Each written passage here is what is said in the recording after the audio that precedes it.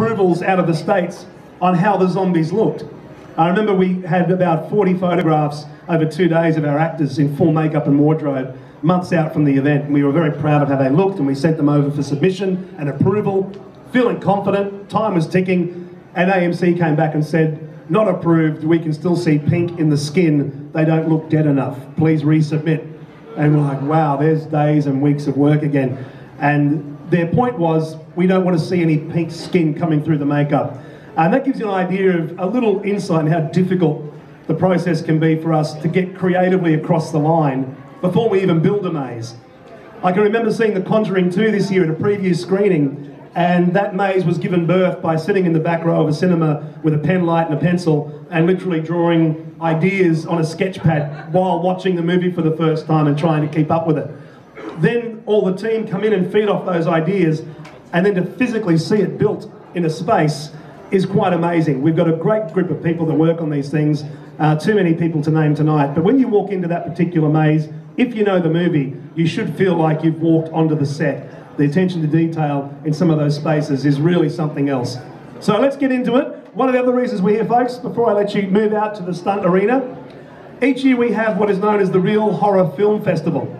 And what this is, is we take in short films made by relatively newcomers to the genre of filmmaking and then select out of that with our team in the marketing department who is taking the gong on a number of categories. And I believe we have some of those filmmakers here this evening. If I could just see a show of arms. We've got a few around here. Lovely, terrific. Want to thank you all very much. And how about a round of applause for Australia's next generation of filmmakers? All right.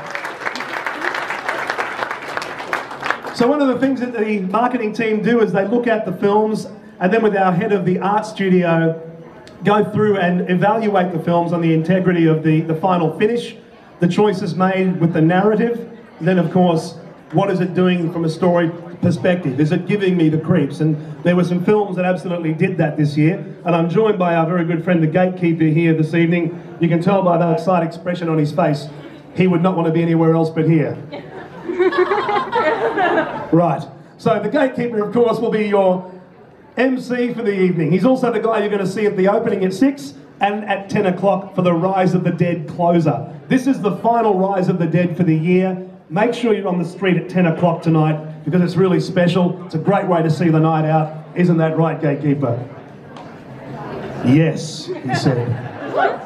So let's get into the awards. Ladies and gentlemen, we firstly want to say a big thank you to all the filmmakers for all their time, effort and energy.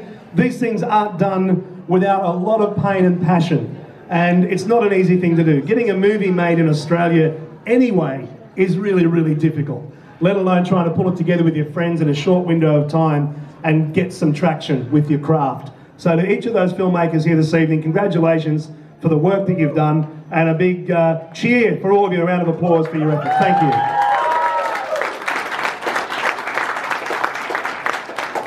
We have three categories tonight. They are the People's Choice, the runner-up, and then our final grand winner.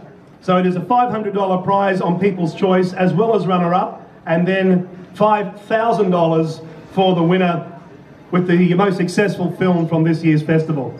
So without further ado, let's get into that. In the category of the People's Choice, as voted by our team, I'm pleased to tell you that our winner is a short film called The Rake, directed by Tyler Benny.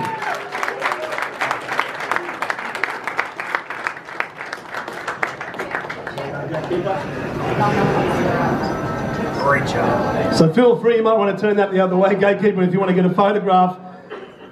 Now, let me tell you, folks, the, the Rake plotline, despite seeing a newspaper clipping regarding a strange human like creature spotted in their local area, Tyler and his friends go ahead with their plans to graffiti a nearby drain at night.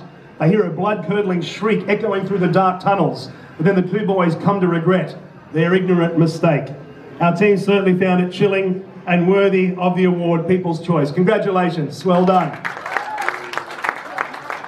If when we leave here you're wondering, that's great, that's a nice looking prop, what do I do? Where's my check?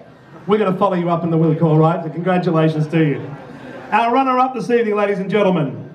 This was a film called The Whistler. Oh Jesse Gorn Buckland, Sarah Yayo, I hope I had that right. Thomas Stephan, I hope I had that right. The directors, come on over. The Whistler, after a day out at the park with her friend, Jessie discovers she has misplaced her phone. Upon using her friend's mobile, she calls her own. There's a strange answer on the other end. She decides her phone is not a lost cause. She heads home. When Jessie arrives home, she finds her phone is lying in the middle of her bed, right where she left it. This is where the night of horror begins.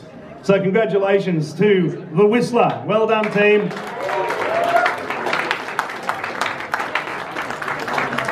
And now, ladies and gentlemen, before we let you head out over to the Hollywood Stunt Driver Arena to get your Fright Night started, the winner of the Real Horror Film Festival for 2016 and the $5,000 prize. The winner of that is a little film known as Mannequin. Here we are. Zach McCoy Davies was the director. Congratulations to you, Zach. A lonely costume designer is working alone in a dark theatre when hearing bumps in the night discovers the arrival of a bubble-wrapped mannequin. It sounds creepy, all right. So congratulations to Zach. The winner of this year's Real Horror Film Festival, folks, is Mannequin. Congratulations. And a big congrats to every single person that was part of that this year and submitted their art and their craft. One thing I certainly know after being in the business here for almost 30 years is that artists give heart and soul when they're trying to get their stuff out. And it's never easy if you're unsuccessful, but it's always great when you are. But our team certainly felt that this year those were the films that stood out to us. Congratulations to you each. Folks, big round of applause for the team. We're going to get you over to the Hollywood Stunt Driver.